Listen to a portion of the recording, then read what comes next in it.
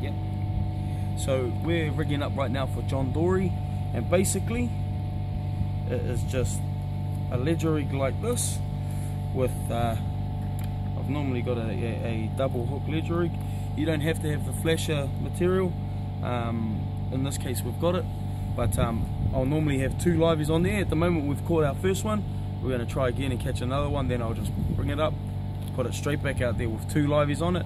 Then you're fishing for John Dory. Might see a big snapper come through. We're here at uh, Mangonui Wharf this this time, having a go at some night fishing, but uh, hopefully some John Dory around. And uh, this is our first little offering to those bad boys. We'll get another livey on the bottom, and that's how you fish for John Dory. So watch this space. John Dory, buddy.